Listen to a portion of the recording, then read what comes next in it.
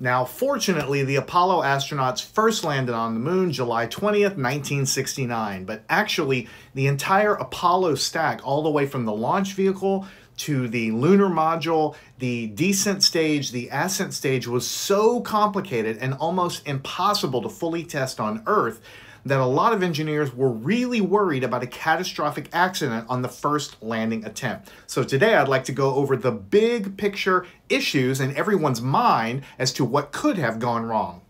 So when astronauts landed on the moon, the entire structure sat, settled down on the moon there. The engine that landed them, the thrusted as they landed, is right there at the bottom. But actually, when they took off, they did not use this engine. This entire upper part of the craft off of the picture separated with another engine, which is inside of it, and that ascent engine is what actually boosted them up into space.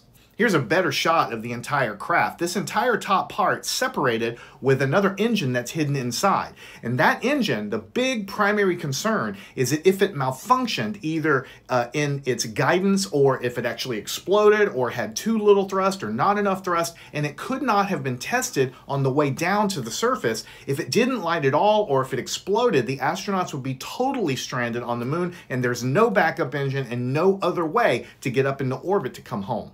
Another issue people really worried about is that descent stage when they landed on the surface there. You might know that Apollo 11 got really, really low on fuel when Armstrong set it down on the surface, avoiding some last minute boulders and craters.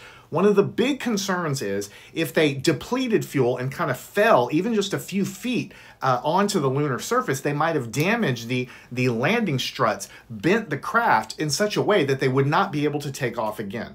You know, from the maps they had ahead of time from probes, they tried to land in a smooth region. But even in a smooth region, there's rocks everywhere, there's little depressions everywhere. So another thing they were worried about is landing the ship into a crater tilted in such a way that it would make it really difficult to take off safely. They were also worried about any kind of joints in the way that they sealed properly.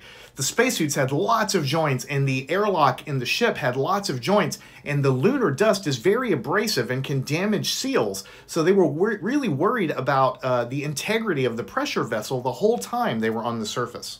Now, the astronauts did not have any kind of cyanide capsules or anything like that. So if something went wrong, the plan was for them to say their goodbyes, perish on the moon, and for Michael Collins to come home by himself. He called that his secret terror.